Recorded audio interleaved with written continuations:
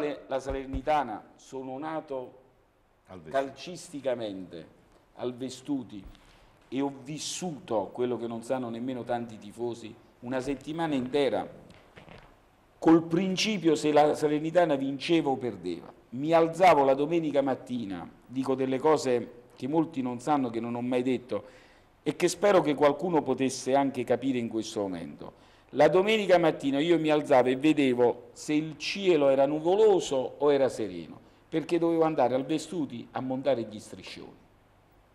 Sono nato calcisticamente con questo desiderio di allenare la Salernitana e dico in questa trasmissione, se un giorno io dovessi allenare la Salernitana, ma io sarei più forte di Murigno, di Van Gaal, di, di qualsiasi allenatore, perché le motivazioni nel raggiungere l'apoteosi calcistica che potrei avere io, non le potrebbe avere nessuno. Ho finito.